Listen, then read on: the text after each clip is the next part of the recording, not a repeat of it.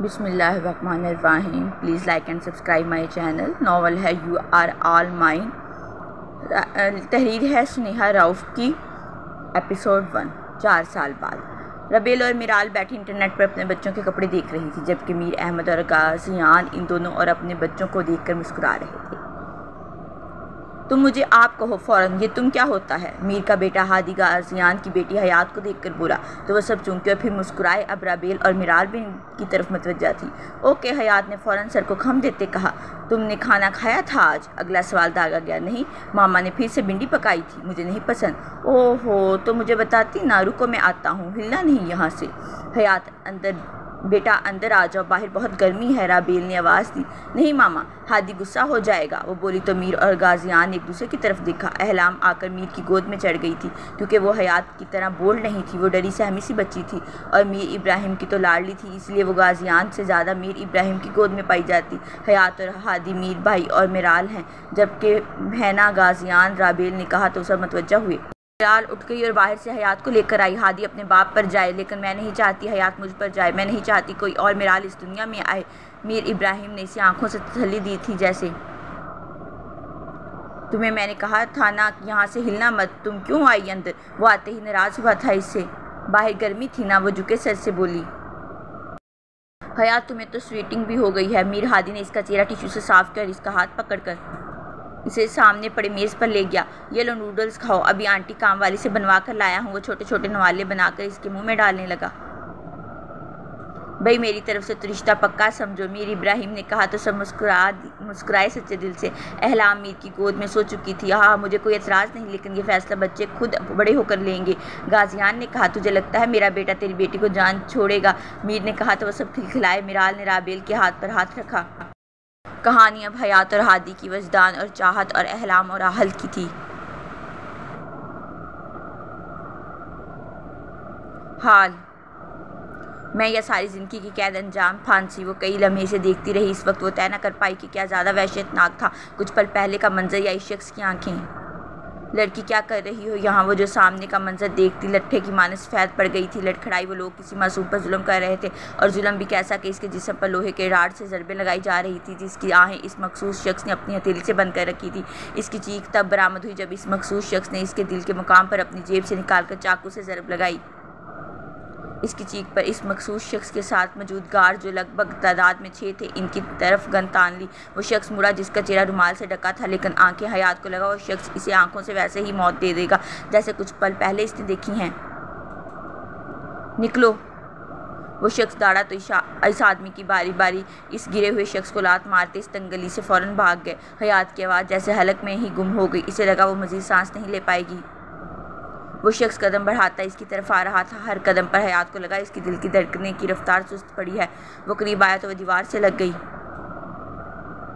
यहाँ क्या कर रही हो? इस खौफनाक माहौल में इसकी सख्त आवाज़ गूंजी। हयात के आँसू मतवातर चेहरे पर गिरने लगी, इसे लगा, वो शख्स इसे भी मार देगा, मौत करीब है। तुमने ने, इसने फिर से बोलना चाहा? तुमने इसे क्यों मारा? फिर तमाम तर हिम्मत इकट्ठी करती बोली तो इस शख्स ने खतरनाक तेवर लिए इसे देखा। क्या तुम मुझे जानती हो? नहीं। कभी मेरा नाम नहीं सुना। कौन सा नाम? डार्क वेजर नहीं अब मेरे नाम के साथ अपना नाम तुम हर जगह सुनोगी। वो इसके कान के पास वैश्यक से कहता, आसमान को देखने लगा। जहाँ हेलीकॉप्टर्स घूम रहे थे तस्वीर उतर रही थी। वो पूरे सरार सा मुस्कुराया और इसे देखा जो बुखला गई थी। ये सब मैं यह सारी ज़िंदगी की जेल और फांसी इसने झुकते पूछा। इन्हें घेरा जा रहा था। ज़िंदगी।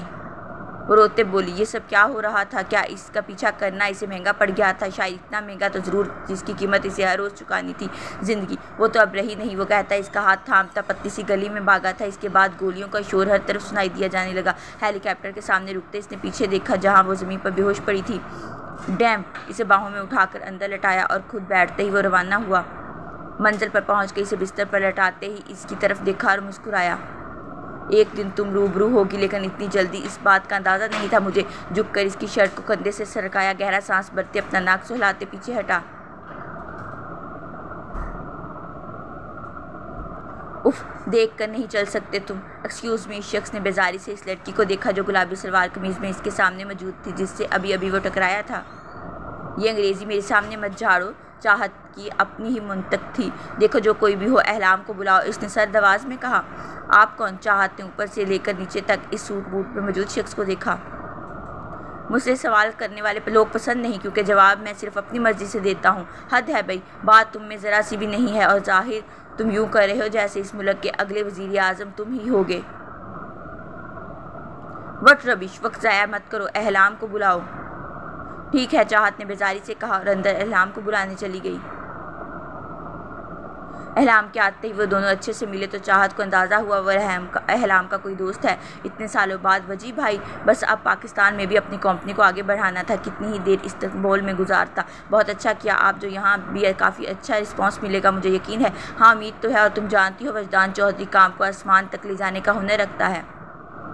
बिल्कुल चाहत खान सा माँ नहीं आई अभी तक। देखो तो हाँ मैं आती हूँ देख कर वो जो, जो कब से इस शख्स को ध्यान से देख रही थी चुंकी और गायब हो गई। गाजियान अंकल के घर काफ़ी खूबसूरत है। यहाँ शूट करूँगा कुछ मैं जल्द ही लेकिन प्लीज़ नौकर बदलो। क्यों क्या हुआ? अहलाम ने इसे देखा। वो इनके बाबा के दोस्त का बेटा था। बचपन से वो साथ रहे थे। वो साथ वाले घर में रहता था। ये लड़की किस गाँव से बुला कर रखी है? अजीब अंदाज है इसका। मेहमानों से आते ही पूछताछ शुरू कर देती है और इसके लंबे बाल तो मेरे मुँह पर बजे थे जब वो मुड़ी थी। उफ। हयात खानसामा आ रही हैं। बस कबाब फ्राई करके वो सब सुन चुकी थी। इस अहद तक पर इसकी बड़ी बड़ी आँखें नम हुई। वजी बाई वो नौकर नहीं है, दोस्त है मेरी। मुझे बहुत बहुत बुरा लगा। आपका अंदाज मुखातब उसके लिए। ओह, मुझे लगा मैं माफ़ी चाहता हूँ, वजदान चौधरी को जैसे फ़र्क ही ना पड़ा था, चाहत कितनी ही देर आईने के सामने खुद को देखती रही। क्या इसके हुलिये से इसकी गरीबी झलकती है? क्या पता चलता है कि वो एक किसान की बेटी है? क्या वो इतनी बुरी दिखती है कि लोग इसे नौकर ही समझ लेते हैं? आज इसे अंदाज़ा हुआ कि नौकरों को जब कोई ऐसा कहता होगा तो इन्हें कैसा लगता होगा? अगर देखा जाए तो वो यहाँ नौकर ही थी, गाँव से आई शहर में एक अमीर बाप की बेटी की प्रोटेक्टर चाह मेरी जान अहलाम ने इसे तेरे साथ लगाया। नहीं, मैं ठीक हूँ। मैं तुम्हारे कल के कपड़े निकाल देती हूँ, चाहत कहते ही वहाँ से गायब हो गई। कभी कभी मेरा दिल करता है, इनकी मुझे काट दूँ। वह मुँह बसोरते बोली, क्यों इतनी अच्छी तो लगती हैं इस पर? इसकी दोस्त आह बरती बोली तोबा करो, क्या अच्छा है इनकी मूछों में? इसने मुड़कर कुछ दूर खड़े इस शख्स को देखा जिसकी बात हो रही थी। हाँ इसीलिए सारी कॉलेज की लड़कियाँ तब तक नहीं जाती, जब तक तुम नहीं जाती, क्योंकि सब इसके दीदार के लिए बैठी रहती हैं। अलाम बहुत वक्त हो गया है, घर चलना चाहिए। अब इसकी भारी आवाज़ को सुनते इसने होंठ लटकाए, ऐसा करती, वो क्यूट लगी थी। देखा देखा कैसे हुक्म जमाते हैं। अहलाम ऐसा नहीं करें, वैसा नहीं करें, यहाँ नहीं जाएँ, वहाँ नहीं जाएँ, ये खाना अच्छा नहीं, मेरी सेहत के लिए उफ उफ उफ उफ। तो तुम हटवा दो इन्हें। इसकी दोस्त ने मशवरा दिया। नहीं, बाबा जान, बहुत भरोसा करते हैं और मैं कैसे किसी की नौकरी छिड़वा दूँ? इसका दिल कितना नरम था। इस शहर में तकरीबन लोग ये बात जानते थे। अहलाम, फिर से आवाज़। जाना पड़ेगा। वो उठी और इसकी सिमत भाग कर गई। भाग क्यों रही हो? अगर गिर जाती तो? नहीं गिरती। मैं आहल भाई। इस शख्स ने लम्हे भर को इस छोटी लड़की को देखा और फिर कदम आगे बढ़ाए। ज़िंदगी में कुछ चीज़ें आपको कभी नहीं मिल सकती। इसका दिल इस पर हंसा था। आहिल छाई जल्द भाई जल्दी चलाएँ, क्यों? भारी आवाज़ गाड़ी में गूंजी जिससे सब डरते थे। रात हो जाएगी, मुझे डर लगेगा ना? आप क्यों डरती हैं? वो इसके डरने के खौफ को कभी समझ नहीं पाया था। मुझे लगता है कुछ बुरा हो जाएगा। जैसे मैं जब खुश होती हूँ तो मेरे साथ कुछ बुरा हो जाता है। जब पिछली बार मैं खुश हुई थी अपनी सालगिरह पर तो कोको बिल्ली मर गई थी। ये वहम है बस। वो और क्या कह सकता था? नहीं, आहिल भाई, मम्मा कहती हैं हलाम की किस्मत को नज़र लग जाती है। वो सब तेज़ी से हलाकी से समझाने लगी। तो आप सबके सामने मत हंसा करें, इसने आहिस्तगी से कहा। क्या ऐसा? हुँ? तो फिर मुझे किसके सामने बस हंसना चाहिए? आपकी बहन, वालदान और दोस्त बस बस। हुँ? आप नहीं, क्या मैं आपके सामने मत हंसूँ? आपकी भी नज़र लग सकती है। मुझे वो पूरी तरह इसकी तरफ़ घूम गई थी। खामोशी से बैठें। वो इसे झटक गया और वो ऐसा ही करता था। जब इसके किसी सवाल का जवाब इसे नहीं देना होता तो इसे यूँ ही झटक देता था। आ आ आहिल, इसके लबों से निकला और फिर खामोशी छा गई। वो जानता था वो इससे नाराज़ रहने वाली थी।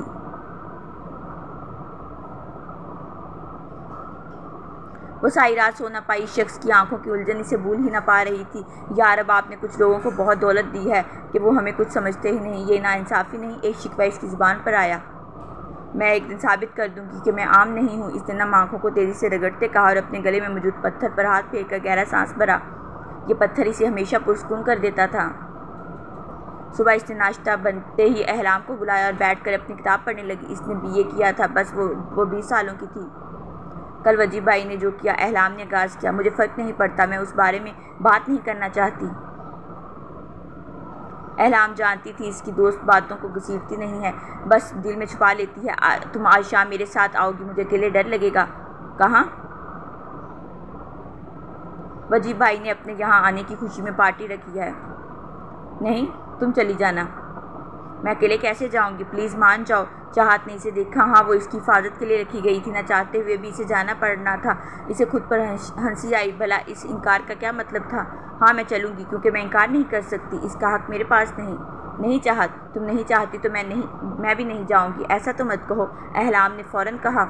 नहीं, मैं जाऊँगी। तुम्हारे साथ कौन से कपड़े पहनूँगी? मैं निकाल देती हूँ। और मैं बताती हूँ। अहलाम ने अपने साथ अपना एक नया जोड़ा, इसको भी आज रात ज़बरदस्ती पहनने के लिए दिया था। क्या आहिल भाई जाएँगे हमें छोड़ने। चाहत ने इस्तफसार किया। हाँ बाबा जान ने उन्हें ही कहा है अलाम कहती तैयार होने चली गई। चाहत ने वो फ्राक पहना था दुपट्टे को अच्छे से सीने पर फैलाया था। आँखों में काजल लगाए ही वो तैयार थी। बिला शोभाई से किसी मेकअप की ज़रूरत नहीं थी। इसका बादामी रंग था, लेकिन आँखें बड़ी बड़ी जो किसी को भी तवज्जा का मरकज़ बन जाती थी। पार्टी का माहौल देखते ही इसका मुँह खुला। वो बड़े पैमाने पर नहीं थी, घर पर ही थी, लेकिन बहुत खूबसूरत सजावट थी। या शायद वो घर ही बेहद खूबसूरत था। वजदान चौधरी इनसे मिलने आया था और बस अहलाम से ही मिलकर गया था। इसे तो देखा भी नहीं था कि वो साथ आई है। हाँ इसकी इतनी औकात कहाँ? इसके अंदर से आवाज़ आई। पार्टी चल रही थी, मेहमान आ जा रहे थे। वो सब एलियट्स क्लास के थे। इनके रख रखाव से पता चल रहा था, चाह तुम वो सामने किचन से पानी ले आओ, मैं खाना डाल कर लाती हूँ। अलाम ने कहा तो इसने सर हिलाया। वो पानी लेने गई। मुझे भी देना। एक औरत ने कहा तो इसने अलाम के लिए लाया पानी, इसको दे दिया।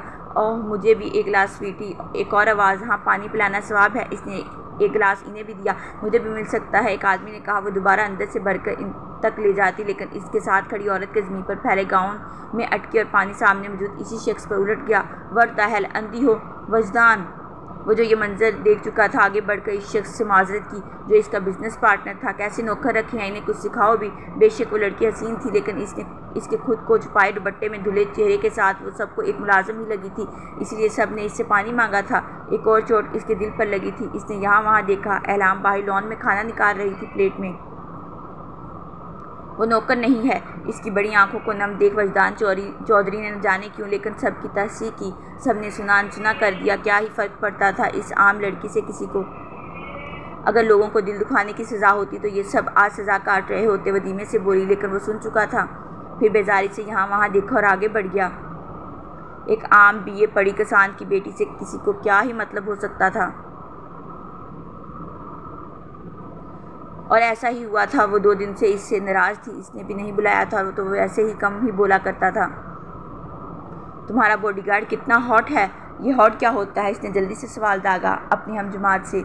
उफ, इसकी बॉडी वो कितना हैंडसम है, कहीं से बॉडीगार्ड नहीं लगता, इसको तो मॉडल होना चाहिए था, इसकी दूसरी हम जमात ने कहा। काश वो मेरा बॉडीगार्ड होता, तीसरी ने भी हिस्सा लिया। नहीं, वो मेरा बॉडीगार्ड है, तुम सब चुप रहो, वो इन्हें डांटती इसकी तरफ़ फ़ौरन गई। आहिल भाई हम वो इससे मुखातब हो ही गई थी। मेरी तरफ़ देखें। बोले, वो चौंकना था क्योंकि ये इसकी ड्यूटी का वक्त था। आप आप आप अपने बाजू को ऐसे करें। मैं इसके साथ लटक कर देखती हूँ। आप में कितनी पावर है? इसने बिना कुछ सोचे कहा, वैसे भी वो ज़्यादा कहाँ कुछ सोचती थी। घर चलें, सर का फ़ोन था, वो पूछ रहे थे। पहले तो वो हैरान हुआ, लेकिन पीछे इसकी क्लास की लड़कियों को अपनी तरफ़ मतवजा देख वो बोला, मेरी बात सुने ना प्लीज़ अहलाम। आहिल बड़ा हूँ मैं आपसे। ठीक है छः साल ही बड़े हैं ना इसने कहा। अच्छा प्लीज़ मुझे आप लटकने तो दें, मेरा ज़्यादा वज़न तो नहीं है, वो बजिद थी, अभी कल ही तो इसने किसी मूवी में ऐसा होते देखा था। गाड़ी में बैठे वो कहता दरवाज़ा खोल गया, जो इसने ठाक की आवाज़ से बंद किया, और पीछे का दरवाज़ा खोल कर बैठ गई। इसने ठंडी आ भरी और गाड़ी घर के रस्ते पर डाल दी, लेकिन रस्ते में इसने आइसक्रीम खाने की ज़िद की। वो जो लेकर वापस आया, जब देखा सामने गाड़ी में मौजूद लड़का इसे किसी नज़र से देख रहा था, इसने मुठियाँ भेजी। इसके अबू हमेशा कहते थे कि वो बहुत अग्रेसिव हो जाता है, और इसे खास तकीद की थी कि वो अपना गुस्सा इन लोगों को मत दिखाए, नहीं तो ये नौकरी भी खो देगा लेकिन वो आहिल था आहिल फ्याज। इसने आइसक्रीम को सीट पर फेंका तो अहलाम होश में आई और इसे देखा जो सामने गाड़ी की तरफ़ जा रहा था। देखा कैसे तूने इसे? अपने काम से काम रखो। इस लड़के ने इसे उंगली के इशारे से इसे हटने को कहा। आहिल ने वही उंगली पकड़ी इसे ज़ोर से मरोड़ी के इसके टूटने की आवाज़ पीछे खड़ी अहलाम ने बखूबी सुनी थी। आ, आ, आहिल। इस तरह तेरी आँखें भी निकाल सकता हूँ लेकिन जाने दे रहा हूँ एहतियात बरतता। वो कहता है इसे धक्का देता है हलाम को एक नज़र देख कर गाड़ी में आकर बैठा तो वो भी भाग कर आकर बैठी। आपने तो, तो, तो तुमने ऐसा क्यों आँसू आँखों से गिर रहे थे? रोना किस बात का आ रहा है। वो यकदम इस पर झुकता दहशतनाक नज़रों से देखता, बोला तो वो सहम गई। इसे एहसास हुआ तो स्टेयरिंग पर ज़ोर से हाथ मारा और गाड़ी चलाने, चलाते इसे घर पहुंचाकर खुद अपने घर रवाना हुआ। आँखें खोलते इसने जो मंजर देखा, वो इसे हिला गया था। वो लकड़ी का एक कॉटेज था। इसका फ़ोन थरथराने लगा। जो इसकी पैंट की जेब में था, इसने निकाला। इसके डैड का फ़ोन था। बाबा जानी। इसकी आवाज़ रोनती और बिस्तर से कदम उतारते वो दरवाजे की तरफ़ बढ़ने लगी। क्या हुआ प्रिंसेस? गाजियान इजाज़ की आवाज़ गूंजी। कुछ नहीं, बस अभी नींद से जागी हूँ। इसने खुद पर कंट्रोल किया और फिर दो तीन बातें करते फ़ोन रखा और नज़र ईद की दौड़ाई। वो जंगल था, घना जंगल। ये मैं कैसे यहाँ? वो फिर से जो कुछ हुआ वो याद करते एक बार फिर इसका सांस सूख गया। अभी वो आगे बढ़ती, जब सामने से इसी शख्स को आते देख, वो तेज़ी से आगे बढ़ी और इसका गिरबान थामा। तुम तुमने सब बर्बाद कर दिया। मैं कितनी पुरस्कून ज़िंदगी गुजार रही थी। वर्दा हेल इसके हाथों को झटकते वो ऊँची आवाज़ में दहाड़ा तुम कातिल हो। अच्छा वो लकड़ियों जो आग जलाने के लिए लाया था, नीचे फेंकता बोला तो तुम ये दुनिया जान गई है, मैं तुम्हें सजा दिलवाऊँगी। तुम एक कातल हो, नहीं जालम। तुम वैशी दरिंदे हो, तुमने एक बेकसूर को, तुम जानवर हो एक, और मैं मैं सबको ये सब बताऊँगी। इसे खींच कर करीब करता वो इसके कान के पास झुका। अब मेरे साथ दुनिया तुम्हें भी जानती है, प्रिंसेस। वो सुन खड़ी हुई रह गई और अंदाज़ा न लगा पाई कि ज़्यादा वहशतनाक क्या था। इसके बोले लफ्ज़ या इसकी कुर्बत, इसका हाथ इसकी कमर पर था। होश में आते ही इसे धक्का दिया तो वो होश में आई। वो इस वक्त नीली जीन्स के साथ फैट टॉप में थी, जो सिर्फ़ इतना ही था कि वह मुश्किल इसकी कमर डकी थी। हाँ जब वो बाजू ऊँचा करती तो इसकी कमर बाहर ना होती थी। बालों को कर्ल्स डाले थे, अब वो खुलकर बिखर गए थे। बुरी तरह सफ़ेद रंग, खूबसूरत, नकोश, व मगरबी और मैशर की खूबसूरती का इम्तराज थी। दूसरी तरफ़ वो इस वक्त रफ से हुलिये में था ओवर साइज़ स्लीवलेस शर्ट के साथ बीच पैंट पहने, गले में लटकती चैन और बिखरे बम्बे बाल हाँ इसके बाल लंबे थे जो गर्दन को छू रहे थे, लेकिन वो इन पर बेहद जजते थे, बुरी आँखें और पुरकशिश नकुश, वो बहुत टफ टाइम देता था अपने देखने वालों को, और वैशक जो इसकी आँखों से इसके देखने और बोलने के अंदाज से झलकती थी, हमें निकलना है यहाँ से कुछ वक्त में, मैं नहीं जाऊँगी। वो चीखी आवाज़, आहिस्ता रखो, नहीं तो ज़ुबान गद्दी से खींचने में जब मुझे ज़्यादा वक्त नहीं लगेगा, वो घर आया मुझे घर घर जाना। वो धीमे से बोली, अब के लहजा भी रंदा था, जैसे ही ये मुमकिन हुआ, तुमसे पीछा छुड़वा लूँगा वो जैसे किसी की बात खुद पर लेना पसंद ही नहीं करता था। तुम कातिल हो, वो कदम बढ़ाती इस तक आई तो इसने गहरा सांस भरा। देखो लड़की, अपने काम से काम रखो, यहाँ लाना मेरी मजबूरी थी, क्योंकि अगर तुम यहाँ नहीं आती तो अगले दो घंटों में मारी जाती।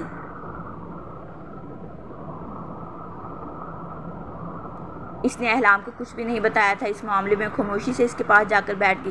खाओ तो अच्छा है, चाइनीज़। अहलाम ने कहा, नहीं, मेरा दिल नहीं कर रहा। मैं घर जाकर खा लूँगी, इसने धीमे से कहा। ओके, मैं वजीब भाई को गिफ्ट देकर आती हूँ। तुम इतनी देर आहिल भाई को फ़ोन कर दो कि हमें ले जाएँ। ओके। इसने फ़ोन किया तो आहिल ने बताया कि गाड़ी ख़राब है। इसे कुछ वक्त लगेगा आने में। वो बात करके पलटी तो एक सूट बूट में शख्स इसके पीछे खड़ा था। कैसी हैं? क्या मैं आपको जानती हूँ? नहीं, लेकिन जान पहचान बढ़ाने से ही बढ़ती है और तुम जैसी लड़की से कौन बदकिस्मत जान पहचान नहीं बढ़ाना चाहेगा? आप मुझ किसी लड़की समझ रहे हैं, तब का दबा गुस्सा अब ऊद आया था। जैसी भी समझो कम अज़ कम एक मुलाजमा तो नहीं समझ रहा। वो कहकर खबासत से कहका लगाने लगा, आह, ये आँखें तुम जानती हो? तुम्हारी आँखें किसी को भी अपने शहर में गिरफ़्तार कर सकती हैं। वो इसके करीब कदम बढ़ाता बोला देखें, दूर रहें। इसने यहाँ वहाँ देखा, कोई नहीं था। सब खाना डालकर अंदर चले गए थे। वो शख्स करीब होता है इसकी तरफ़ झुका तो इसने आँखें खौफ से मीची। वहाँ से अंदर जाने की हिम्मत ही ना कर पाई वो। एहतशाम भारी गंभीर आवाज़ पर वो शख्स सरहद से पलटा। वजदान चौधरी को देखकर उफ, गलत टाइमिंग पर आ गए। दोस्त को कहता, दूर हुआ। तो वजदान ने देखा, वो खौफ से सफ़ेद पड़ती नम आँखों से वहीं खड़ी थी। अंदर पहुँचो, फ़ौरन में आ रहा हूँ। आवाज़ में सकती थी। Okay okay. लेकिन इसकी खुशबू, उफ, अगली बार मत आ जाना ऐसे, इसका दोस्त इसे आँख मारकर कहता अंदर चला गया। खुद की हिफाजत तक करनी नहीं आती तुम्हें, लड़की। इसने आँखें उठाकर इसकी तरफ़ देखा तो वजदान चौधरी के दिल ने पहली बीट मिस की। मुझे यहाँ नहीं आना चाहिए था, ये सब मेरे लिए नहीं बना, वो गाल अपने हाथ की पुश से रगड़ती आगे बढ़ी। वजदान ने इसका बाजू गिरफ्त में रेते से सामने खड़ा किया। अगली बार इन हाथों को काम में लाना हर बार मैं नहीं आऊँगा मदद के लिए लहजा सर था मुझे नहीं चाहिए आप जैसों की मदद शुक्रिया वो अपना बाजू इसकी गिरफ्त से निकाल कर अंदर की तरफ़ बढ़ गई अकड़ किस बात की है तुम्हें वो सोचता खुद भी अंदर चला गया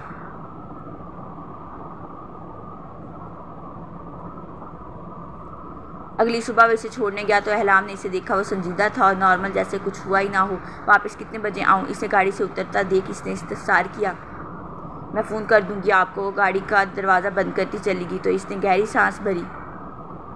वापसी पर वो जिम गया था। हाँ इसे जिम जाना बेहद पसंद था। इस काम में वो किसी की नहीं सुनता था। वो इकलौती औलाद था अपने वालदेन की। इसका बाप एक आम क्लर्क था। यहीं शहर में एक छोटा सा तीन मरले का घर, सादा ज़िंदगी। इसका बाप गाजियान एजाज का गार्ड रह चुका था और इसी के कहने पर गाजियान ने इसे हलाम के लिए रखा था। वो अपनी तहारी तनख्वाह अपनी माँ के हाथ पर रखता था, जिससे इनके घर का गुजर बसर तो हो ही जाता था, क्योंकि इसका बाप अब कोई काम नहीं करता था, ऐसा इसने ही कहा था। अपने लिए वो सिर्फ़ चंद ही पैसे रखता था, इसकी ज़रूरतें ही क्या थी, लेकिन वो जिम जाकर अच्छी खासी बॉडी बना चुका था, वो इसे वापसी पर लेने आया और गाड़ी से बाहर निकल कर इसका इंतज़ार करने लगा। और सामने से आ रही थी, वो हर रोज़ लड़कियों की नज़रें खुद पर महसूस करता था, लेकिन इसे ये सब पसंद न था। अस्सलाम वालेकुम। पीछे से आवाज़ देने पर वो मतवजा हुआ। तब तक अहलाम भी करीब आ चुकी थी। वालेकुम सलाम, इसने देखा वो एक औरत थी, तीस पैंतीस सालों की, लेकिन बेहद मॉडर्न। कैसे हो हैंडसम इस औरत ने कदा से पूछा तो अहलाम ने हैरत से आहिल की तरफ़ देखा। क्या मैं आपको जानता हूँ? वही संजीदा लहजा। नहीं, लेकिन अब जान जाएँगे, क्योंकि मेरे पास तुम्हारे लिए एक बेहतरीन ऑफ़र है। अगर आप ये समझ रही हैं कि ये लैंड क्रोज़र मेरी है तो आप गलत हैं। मैं आप लोगों की सोसाइटी से बिलोंग नहीं करता, और ये लड़की, मैं इसका बॉडी गार्ड हूँ, इसने तहसीक की। दिलचस्प, बेहद दिलचस्प। लेकिन शायद तुमने सुना नहीं, हैंडसम, मेरी ऑफ़र अभी तुम्हारे लिए है। कैसी ऑफ़र? इसने आँखों से शेड्स हटाते कहा। अब वो बेजार हो रहा था, लेकिन अहलाम दिलचस्पी से सुन रही थी। हमें अपने ब्रांड के कैटा लोगों के लिए एक नया चेहरा चाहिए, जिसके साथ किसी ने अभी तक मार्केटिंग में काम, मार्केट में काम ना किया हो। तुम्हारा तजर्बा कम है, लेकिन फिर भी अच्छी रकम तुम्हें देने का वादा करती हूँ। इन्हें नहीं करनी। चलें आहिल भाई अहलाम ने फ़ौरन टोका, चौंका तो वो भी था। सोच लो, ये अच्छी ऑफ़र है। कब तक किसी की बेटी की पहरादारी करते फिरोगे? कहा ना नहीं करनी, ने कोई मॉडलिंग, वो मेरे बॉडीगार्ड हैं और हमेशा वही रहेंगे। आहिल ने इसे देखा, वो मेरे पर गौर करने की बजाय इन लफ्ज़ों पर गौर कर रहा था जिस पर एहतमाम किया था इसने। वो बॉडी गार्ड ही रहेंगे। वो खामोशी से गाड़ी में जाकर बैठा तो अहलाम ने इस औरत को देखकर नाक पर छोड़ा देखा कहा था ना? वो कहती, अंदर बैठ गई। मैं यहाँ से जाना चाहती हूँ। वो आँखों में आँसू छुपा, आंसुओं को छुपाने की खातिर पलट गई। वो हयात गाजियान थी कॉन्फिडेंस और बोल्ड वो कैसे किसी के सामने रो सकती थी? जो करना है करो। वो कहकर इस लकड़ी के झोंपड़े में चला गया। वो कदम बढ़ाती वहाँ से दूर निकल आई। शाम होने लगी थी और वो जंगल बहुत घना था। इसे आधे घंटे में ही लग रहा था कि वो सारा जंगल घूम कर वापस वहाँ आ गई है, जहाँ से वह चली थी। इसने आँसू साफ़ करते यहाँ वहाँ देखा क्योंकि इसे कदमों की आवाज़ आने लगी थी। देखो। मैं तुम्हारे साथ नहीं जाऊँगी। तुम बुरे हो, बेहद बुरे। मैं तुम्हें ज़िंदगी में कभी नहीं देखूँगी। मुझे तुमसे नफ़रत होने लगी है। तुम जाओ यहाँ।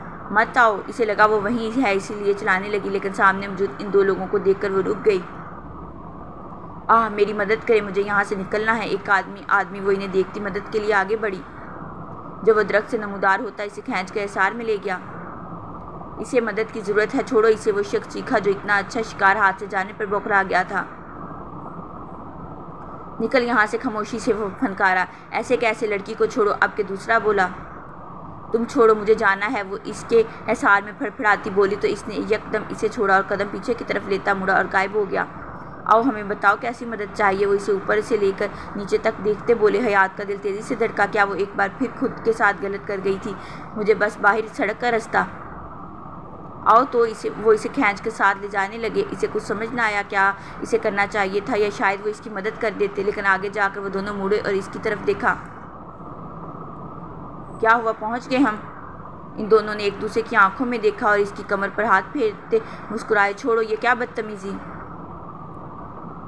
लड़की, बस कुछ वक्त फिर तुझे बाहर का रास्ता बता देंगे। हाथ मत लगाना, हटो, वो इन्हें दूर धकेलती बोली। दिल अब डर गया था। इसने इस शख्स को याद किया और आँसू को चेहरे चेहरे से रगड़ती इन्हें दूर करने लगी। गोली की आवाज़ जंगल में गुंजी तो इसकी चीख हर तरफ़ सुनाई दी। हाँ वो वही था। इन दोनों के हाथों को गोली से ज़ख्मी कर दिया गया था। वो पीछे होती, इनके हाथों से निकलता खून देखती और इसे देखने लगी, जो अब वापस वहीं जा रहा था, जहाँ से आया था। वो इसके पीछे जाने लगी और वापस इस लकड़ी के कॉटेज के अंदर आते सर हाथों में गिरा लिया और को तार होने लगी। हाँ हयात गाजियान रो पड़ी थी। खामोश रहो। इसकी गंभीर आवाज़ पर इसने सर उठाकर इस बेरहम को देखा जिसकी वजह से सब हुआ था। सो जाओ, खाने को अभी कुछ कह रहा है। सुबह पाँच बजे हमें यहाँ से निकलना है। इसे बताता अपने सामने पड़े लैपटॉप पर उंगलियाँ चलाने लगा। वो भी बिस्तर पर गिर गई। हाँ चादर जैसा कुछ नहीं था। हाँ और ना इसने मांगा क्योंकि आग की वजह से अंदर काफ़ी गर्म हो गया था। इसके सोते ही वो खड़ा हुआ और इसके करीब आया। इसके लिबास पर नज़र पड़ते ही होंठ भेजे। वो मंजर आँखों के सामने से गुजरा, जिस पर इन लोगों के हाथ इसके टॉप से झलकती कमर पर थे। इंतहाई घटिया लिबास, प्रिंसेस, लेकिन फ़िक्र नहीं करो, इन सब की सज़ा सूद समेत वसूलूँगा तुमसे। अपनी जैकेट को इसके ऊपर देते वो खड़ा हुआ। वापसी पर इन्हें छोड़ने गया था घर तक। अहलाम से वो बातें कर रहा था, लेकिन वो खामोश रही थी। मुझे सेक्रेटरी की ज़रूरत है। एक क्या तुम्हारी कोई दोस्त है जो परफ्यूम्स का नॉलेज रखती हो? क्योंकि मैं एक नई खुशबू यहाँ मुतारफ़ करवाना चाहता हूँ। हम? नहीं तो? ओके। मैं सोच कर बताऊँगी आपको वजी भाई, अगर किसी को कोई अंदाज़ा हो तो। अब के चाहत ने इनकी बातें सुनी, वो कहना चाहती थी कि वो ये कर सकती है, लेकिन वजदान चौधरी की वजह से बोल ना पाई। वापसी पर जाकर अहलाम तो सो गई थी, लेकिन वो बाहर लॉन में जाकर चक्कर काटने लगी। इसे घास पर नंगे पाँव रात की हवा में चाँद को देख कर चलना और खुद से बातें करना बेहद पसंद था। अपने बाबा को फ़ोन किया और गहरी सांस भरी। बाबा, कैसे हैं आप? मेरी दी मैं ठीक हूँ। क्या तू ठीक है? मैं बिल्कुल ठीक हूँ। इसके लहजे में उदासी गुली थी। मैं आपको बहुत याद करती हूँ। तो आ जा वापस, क्यों रुकी है वहाँ? नहीं बाबा एहलाम मेरी दोस्त है और यहाँ शहर में रहकर मुझे खुद के लिए कुछ करना है। मुझे सबको बताना है कि मैं आम नहीं हूँ, वो अज़म से बोल रही थी। मेरी तू जो करना चाहती है, लेकिन इन सब में कहीं खुद को ना खो दी। ये शहर के लोगों में दिल नहीं होता। ध्यान रखी मेरी दी। इसने आँखें बंद करते खुद में ये बात जज़ब कर ली कि इसे खुद को नहीं खोना था। एक फ़ैसला करते इसने सुबह होने का इंतज़ार किया। एहलाम हाँ बोलो चाह। तुम्हें मेरी खुशबू कैसी लगती है? बेहद डिसेंट और ज़बरदस्त। मैं तो फ़ैन हूँ भाई। तो क्या मुझे इसे बनाकर मार्केट में लाना चाहिए? लेकिन तुम तो इसे रोज़ रास रखना चाहती थी ना चाह इसीलिए कल वजी भाई के सामने मैंने तुम्हारा नाम नहीं लिया। हाँ लेकिन मैं खुद से कुछ करना चाहती हूँ और मेरे पास यही एक सलाहियत है। तुम कर सकती हो, मुझे यकीन है तुम पर। तुम इस फ़ील्ड में बहुत आगे जाओगी। लेकिन क्या? चाहत ने उंगलियाँ मरोड़ते पूछा। वो तुम्हारी खास खुशबू है, जो तुम मुझे भी नहीं देती तो क्या सारी दुनिया को लगाने दोगी? हम शायद मैं अपने लिए कोई नई बना लूँगी सीक्रेट वाली। गुड बेस्ट आइडिया अहलाम इसके लिए बेहद खुश थी। मैं वजी बाई से बात करूँ? नहीं, मैं कहीं और नहीं चाह वो तो एतबार वाले इंसान हैं, और कोई पता नहीं जैसा हो तुम्हें तुम्हारी परफ्यूम्स के राइट्स भी दे या नहीं। हाँ मैं भी करती हूँ उनसे बात। तुम उनके साथ काम करना। अहलाम, मैं आगे पढ़ना चाहती हूँ। मैं तुम्हारा एडमिशन अपने कॉलेज करवा दूँगी। हाँ शाम में करवाना। ओके। एक नया सफ़र मैं तैयार हूँ। अपनी पहचान बनाने के लिए वो पूरा अज़म थी। वर्ड द हेल मुझे कल से अपनी शक्ल मत दिखाना यहाँ से। वो दाड़ा पर सर। आउटेड इसने कहा तो वो लड़की रोती वहाँ से निकल गई। क्यों निकाला? वो काफ़ी देर से यहाँ काम कर रही थी। एहतशाम ने इससे पूछा। मुझे खुद पर गिरने वाली लड़कियाँ जहर लगती हैं। बाद में बार गिरते जाना कोई इज़्ज़त नफसी नहीं है इन लड़कियों की। पर ये तो है इतनी चार्मिंग अगर लड़कियाँ खुद आ रही हैं तो फ़ायदा उठाना मेरे भाई। नहीं, ये सब मेरा टेस्ट नहीं है। वजदान चौधरी ऐसी लड़कियाँ पसंद नहीं करता जो खुद की इज़्ज़त नहीं करवा सकती। ओके ओके, बता सेक्ट्री मिल गई? नहीं।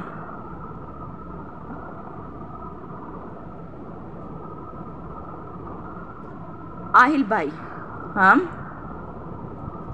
आप सच में वो सब करेंगे? क्या? वो मॉडलिंग नहीं, अभी नहीं। अभी नहीं मतलब आप बाद में करेंगे। इसका क्या मतलब हुआ? वो ना जाने क्यों लेकिन बेचैन हुई। छोड़े अहलाम, आपका क्या लेना देना? क्यों नहीं लेना देना? आप मेरे बॉडीगार्ड हैं और मेरे ही रहेंगे। आहिल ने अब की बार गर्दन घुमाते इसे देखा। आँखों में सतपन था। मैं हमेशा एक बॉडीगार्ड की ज़िंदगी नहीं गुजार सकता। मुझे अपने मुस्तकबिल के लिए भी कुछ करना है। वो ठहरे हुए सत लहजे में बोला मेरा वो मतलब नहीं था, वो थमी।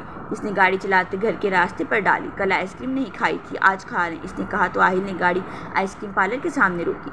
आइसक्रीम लाते से थमाई और अंदर बैठ गया। आप अपनी नहीं लाए? नहीं, यक लफ्जी जवाब। क्यों? मुझे पसंद नहीं। आप खाएँ? अहलाम कई लम्हे से देखती खाती रही, फिर न जाने क्या समाई के अपने चम्मच इसके आगे किया। आहिल ने हैरत से इसे देखा, जो आँखें बड़ी किए इसे खाने का कह रही थी। खाएँ भी पिघल रही है, इसके इसरार पर वो इसे देखने लगा। नहीं, चम्मच जूठा हो जाएगा। आप खा ले, मैं दोबारा नया लेने नहीं जाना चाहता। बारिश हो रही है। नहीं जूठा होगा। वो बाजीद हुई तो वो खा गया, लेकिन इस पर हैरत का पहाड़ टूटा। जब वो इसी चम्मच से खुद दोबारा खाने लगी, इसका दिल अनजान लिए में धड़का। वो इसे देखने लगा था। बेख्याली में जब इसने नज़रें उठाई तो वहाँ, यहाँ वहाँ देखता गाड़ी दोबारा स्टार्ट करता, घर के आगे जा रुका। वो अंदर चली गई, लेकिन वो कई लम्हे वहीं खड़ा रहा। गाजियान को फ़ोन आने पर वही खड़ा बात करने लगा और जब बात करके मुड़ा तो इसे छत पर नज़र आई और बारिश में नहा रही थी। इसे याद था पिछली बार इसे ऐसे बारिश में नहाने पर बुखार हो गया था। वो तेज़ी से जीने चढ़ता ऊपर गया। वो गोल गोल घूमती हंसती कुछ गुनगुना रही थी। ये रूप इस घर में ही देखने को मिलता था क्योंकि बाहर वो नहायत खामोशी और डरी हुई सी रहती थी। आयल के दिमाग में इसकी बात आई। इसे हँसते नज़र लगती थी। वो सही कहती थी। आयल की नज़र सामने घर की खिड़की पर गई जहाँ आदमी खड़ा यहाँ से देख रहा था। आयल ने आँखें बंद करके खोली और इस शख्स को देखा जो गड़बड़ा के वहाँ से चला गया। अहलाम जी, वो तेज़ी से मुड़ती।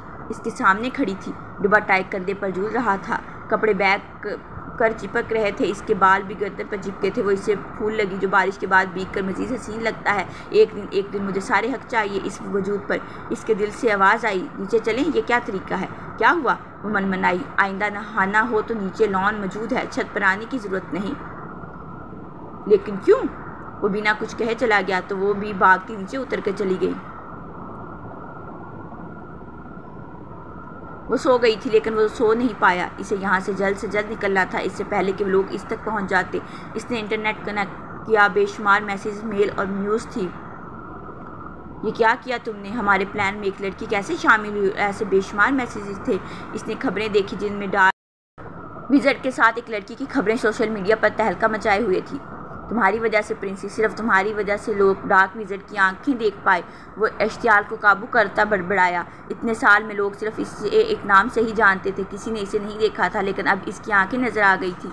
बेशक हेलीकॉप्टर के गर्दिश के वक्त इसके चेहरे पर रुमाल था और इसने हयात का चेहरा अपने हाथ से ढका दिया था, लेकिन इसने सारे काम मुकम्मल किया और उठकर इसके पास जा खड़ा हुआ। अपनी जैकेट इस पर से उतारी और पहन ली। नज़र इसकी कमर पर गई थी। इसने जहाँ वहाँ देखा, दोबारा इसी मंजर को। एक अमानत एक अमानत तक ना संभाली गई इन लोगों से। मेरे पास तुम इस हाल में होती तो तुम्हारे तुम्हें जान से मार देता प्रिंसेस। लेकिन अभी मुझे कुछ वक्त दरकार है। उठो आँखों में वहशत उतारते वो धाड़ा।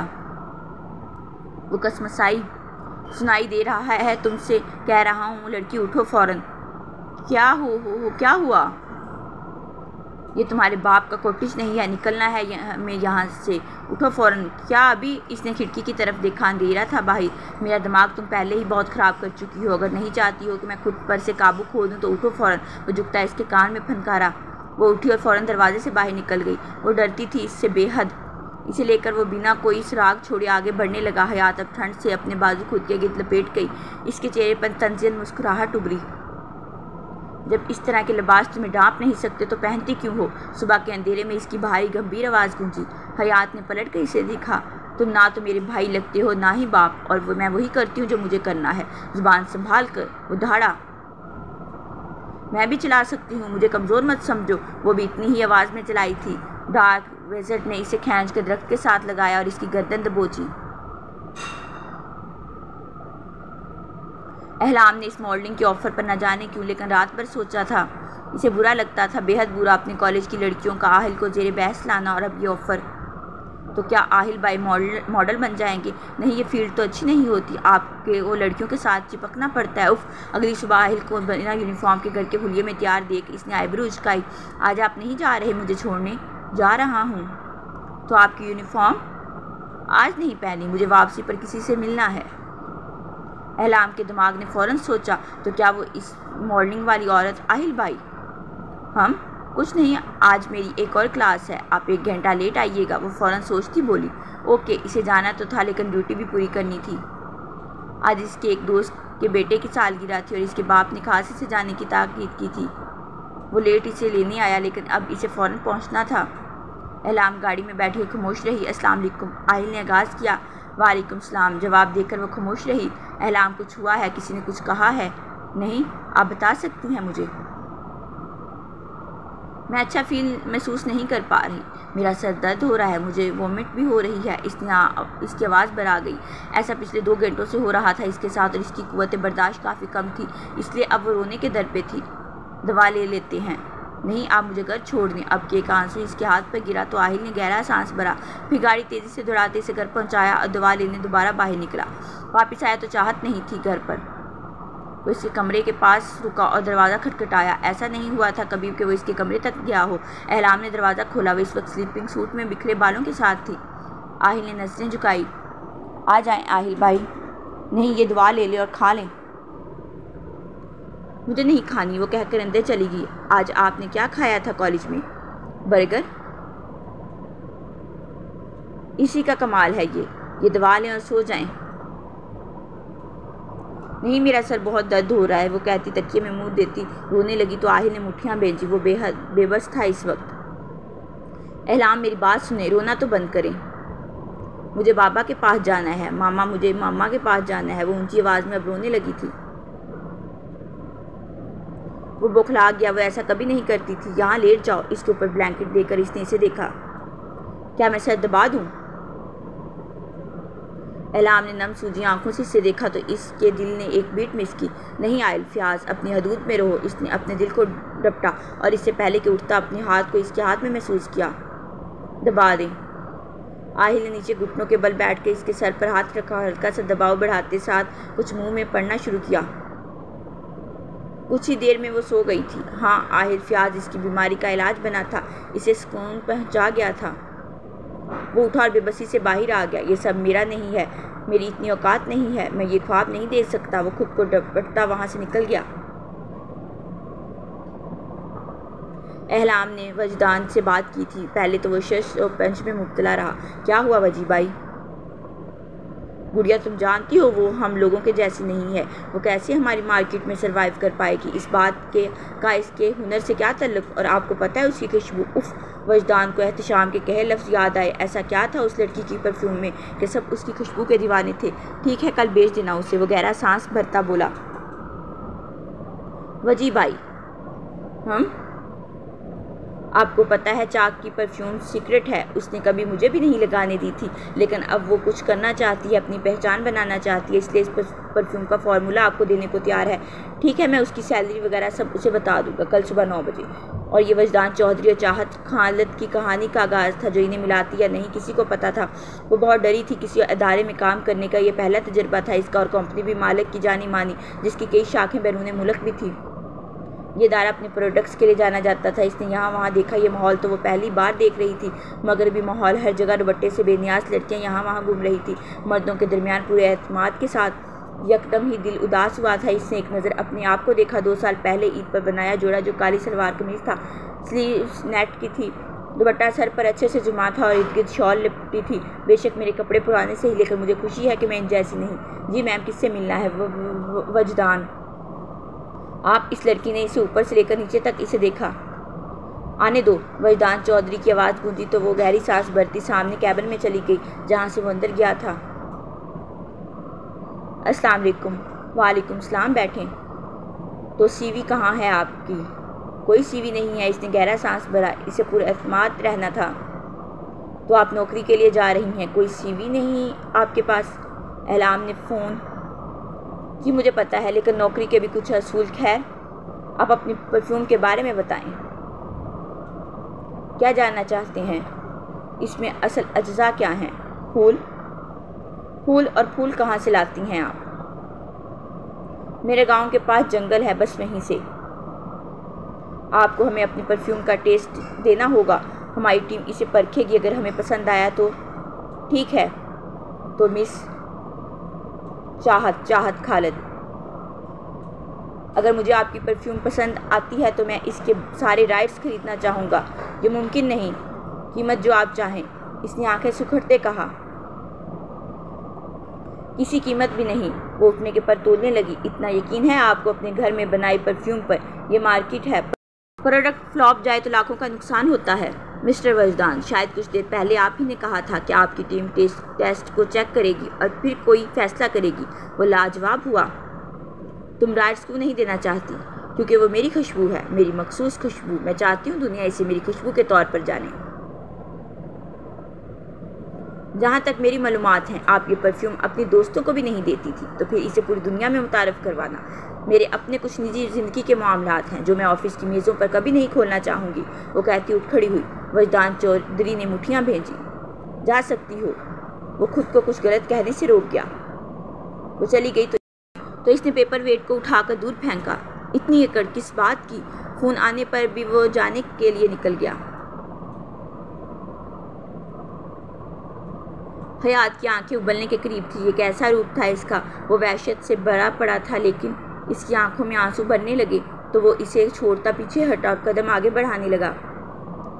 वो वहीं दरख्त के साथ नीचे बैठती खांसने लगी। सफ़ेद गर्दन पर इसकी उंगलियों के निशान चपसा थे। वो बुरी तरह खांसती जहाँ वहाँ हाथ मार रही थी, वो पलट कर वापस आया और इसके सामने बैठा। इन सब का वक्त नहीं है मेरे पास, ड्रामे मत करो, मरी नहीं हो सद अंदाज था। हयात ने नज़रें उठाकर इसे देखा, नज़रों के इस ज़बरदस्त साधन पर इन्हें लगा कि शोर बरपा है, लेकिन आसपास खामोशी का राज था। इसने इसकी आँखों पर से उंगली रगड़ी। हया के मुँह से सिसकी बरामद हुई। मेरे सामने कभी दोबारा मत रोना। जब तक हम साथ हैं, इस बात को अच्छे से समझ लो। तुम, तुमसे मुझे नफ़रत है। मुझे घिन आती है तुम्हारे वजूद से। वो आहिस्ता से बोली, जो वो बामुश्किल सुन पाया। आँखें यकदम सुरख पड़ गई, जैसे जब्त की आखिरी मराहल पर हों। झटके से उसे उठाया और अपने साथ घसीटता आगे बढ़ने लगा। हयात इसकी वहशत से काँप उठी। कौन था वो? क्या चाहता था? क्या थी इसकी ज़िंदगी? अब की बार वो एयरपोर्ट पर थे जो इस वक्त सुनसान पड़ा था तकरीबन। वो हैरान हुई, इसका पासपोर्ट, आईडी कार्ड सब देखे बगैर वो अंदर मौजूद थे। लेकिन ये सब सोचकर वो पागल हो जाती, इसका सर दर्द से फट रहा था। वो बेचैनी से यहाँ वहाँ हाथ मारती, गर्दन घुमा रही थी। क्या मुसीबत है तुम्हारे साथ? वो लैपटॉप पर उंगलियाँ चलाता इसे देखकर बोला कुछ नहीं, आवाज़ बेहद धीमी थी और फिर वो सो गई, क्योंकि इसके पानी में पहले ही स्कून और दवा मिला दी गई थी। इसने ब्लैंकेट मंगवाया और इस पर दिया और यहाँ वहाँ देखा जो कुछ लोग थे, वो दूर की सीटों पर पड़े ओंग रहे थे। इसका सर अपने कंधे पर देखते गहरी सांस भरी। मुश्किल होता जा रहा है सब। लैपटॉप बंद करते काफ़ी मंगवा कर पी और इसे देखा जिसकी गर्दन पर इसकी उंगलियों के निशान वाजा थे इसके चेहरे पर हल्की सी मुस्कुराहट फैली। पहला जख्म मुबारक प्रिंसेस। और फिर कुछ सोचकर अपने अंगूठे से इसकी गर्दन सुलाने लगा। जब दिल मुतमिन ना हुआ तो झुका और नाक सुलाई। कमी अब भी थी। इसका दिल इसे अलार्म दे रहा था, लेकिन आज पहली बार डार्क विजर्ड ने अपने दिल अपने असूलों के खिलाफ जाने का काम सर अंजाम दिया था और अपने होंठ इसके निशान पर रखते झटके से पीछे हुआ। पहला लम्स। हाँ ये इसकी ज़िंदगी का पहला लम्स था। इसके चेहरे पर थमसकर बड़ी मुस्कुराहट फैल गई। आँखों में मौजूद गर्म नरम जज्बात पल में वहशत में तब्दील हो गए और काम और तेज़ी से करने लगा। अभी इन्हें पहुँचने में काफ़ी वक्त था वो सारा काम कर सकता था, लेकिन इसके हाथ को अपने बाजू के गिद महसूस करते हुए रुका। नॉट नाउ अपने बाजू से इसे दूर कर दिया और काम में दोबारा मसरूफ़ हो गया। अगली सुबह वो बिल्कुल फ्रेश थी। इसने एक चॉकलेट आहिल के लिए ख़रीदी और इसके आने का इंतज़ार करने लगी। आज आप छुट्टी कर लेती। आहिल ने इसे कॉलेज जाने के लिए तैयार देख कर कहा। अब मैं ठीक हूँ, बिल्कुल। और आज मेरा टेस्ट भी है ना। ओके आ जाएँ। वो इसे नज़रें नहीं मिला पाया था। आहिल भाई। जी? कल आपने जहाँ जाना था, क्या आप गए थे? इसने शिष्य पंच में मुबतला होते इस्तफसार किया। नहीं, वक्त नहीं मिल पाया। अच्छा हुआ, वह बड़बड़ाई। कुछ कहा? मैं आपके लिए कुछ लाई हूँ। क्या? वो हैरान था, इसका कॉलेज आ गया था। ये चॉकलेट रात को आपने मेरे साथ दिया था और मैं सो गई थी जल्दी से। ये एक थैंक यू गिफ्ट है। इसने वो चॉकलेट नहीं पकड़ी। ये मैं नहीं ले सकता। लेकिन क्यों? इसका चेहरा उतर गया। मैं आपका बॉडी गार्ड हूँ, अहलाम। दोस्त नहीं, और चॉकलेट और तोहफे सिर्फ़ करीबी लोगों को दिए जाते हैं। हम तो ये बात है। तो ठीक है, आज से आप मेरे दोस्त हैं। बॉडीगार्ड भी दोस्त भी, वो चहकती बोली तो आहिर कई लम्हे इसके चेहरे की मसूमियत को देखता रह गया। आज आपने दुपट्टा नहीं लिया, इसके मुँह से फिसल गया, लेकिन फिर फ़ौरन चेहरा फेर लिया। नहीं, इस सूट के साथ का नहीं था। इसने कहा तो आहिल ने ना चाहते हुए भी इसे देखा, वो जींस के साथ शॉर्ट कुर्ता पहने हुए थी। छोटा कद, मसूमियत भरे, नकूश कंधे पर पड़े, सीधे बाल, वो खूबसूरत थी बेशक। ठीक है, इसने संजीदगी से जवाब देने पर वह अहलाम को तो बुरा ही लगा। आप मुझे अपना मफलर दे दें। दोनों की निगाहों का ज़बरदस्त सादम हुआ था, और ये बहुत कम मुस्कुराने वाला आहिद मुस्कुरा पड़ा। अहलाम भी मुस्कुराई थी। आहिल ने अपना, इसे अपना मफलर दिया, जो इसके पीछे गर्दन से डालते आगे की तरफ़ छोड़ दिया था। आपकी चॉकलेट, आहिल ने थामी तो वो खुश होती बाहर निकल गई। ये मैं वापस कर दूँगी। ये मेरी तरफ़ से तोहफा समझ ले। अब आपका है। आहिल ने कहा, आज वो खुश था, वो दोस्त थी। हाँ बॉडीगार्ड के अलावा कोई तो रुतबा पाया था इसने। लेकिन कब तक? ये शायद वो भी नहीं जानता था। मुझे नहीं पता मुझे ये करना है या नहीं, लेकिन मैं जो, मैं खुद को नहीं रोकूँगी, वक्त के बहाव के साथ खुद को बहने दूँगी। क्या पता वक्त और हालात बदल दें सब। इसने सोचे, आँखें बंद की। इसी वक्त लिफ्ट खुली और कोई अंदर दाखिल हुआ। वजदान चौधरी ने कोई रिएक्ट नहीं किया, क्योंकि चाहत की नज़रें अपने कदमों पर थी। वो गहरी सोच में मुबतला महसूस होती थी। यकदम लिफ्ट बंद होने पर वो दोनों चूंके। वट दा वो धाड़ा। ऐसा पहले कभी नहीं हुआ था। इसे क्लोस्ट्रोफिया था। बंद जगहों पर सांस रुकता था इसका, ऐसा बचपन से था इसके साथ। क्योंकि क्या हुआ? लिफ्ट रुक गई है, नज़र आ रहा है। ये बेकार के सवाल करना ज़रूरी है, वो इस पर चढ़ दौड़ा। चाहट ने होंठ काटते से देखा जो अब इस्तराबी कैफियत में फ़ोन पर बार बार किसी का नंबर डायल कर रहा था। डैम डैम डैम, लिफ्ट की दीवारों को हाथ मारते इसने उदम बर्पा कर दिया था। मिस्टर वज, वजदान, रिलैक्स, अभी खुल जाएगी। वजदान रुका, इतनी जल्दी से खुद पर कंट्रोल नहीं खोना था। वो भी किसी गैर के सामने। वो तो एक डका हुआ शख्स था। इसने गहरी सांस भरी। अब कैसा महसूस कर रहे हैं? Will you stop talking nonsense वो चाहत ने नज़रें झुकाते खामोशी साथ ली, लेकिन 20 मिनट में ही इसकी हालत बुरी हो गई थी। वो पसीने में भीग गया था। वो नीचे बैठ गया तो चाहत ने इसे देखा। वो गहरी सांस लेता हाथों की मुठियाँ ज़मीन पर हल्का हल्का मार रहा था। वो इसके सामने बैठ गई और इसे देखने लगी। ऊँचा कद बारी फुट, जिसामत, हल्की बियड और सफ़ेद रंग और मकनातीसी नकूश। वजदान? हम अपनी टाई उतारें और गर्दन के करीब वाले बटन खोल लें। इसने ऐसा ही किया। अब अब क्या करूँ? अब वो इससे पूछ रहा था। हम अपने हाथ हाथ। जल्दी बोलो। मुझे दें।